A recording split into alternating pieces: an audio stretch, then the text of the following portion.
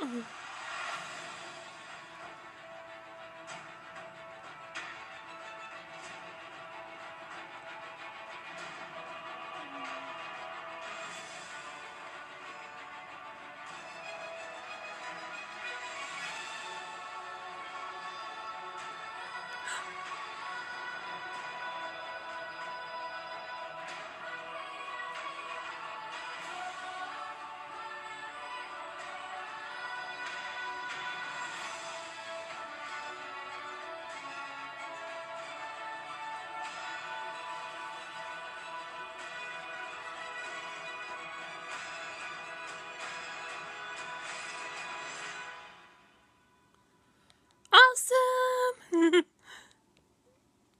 Don't forget to like this video. Bye.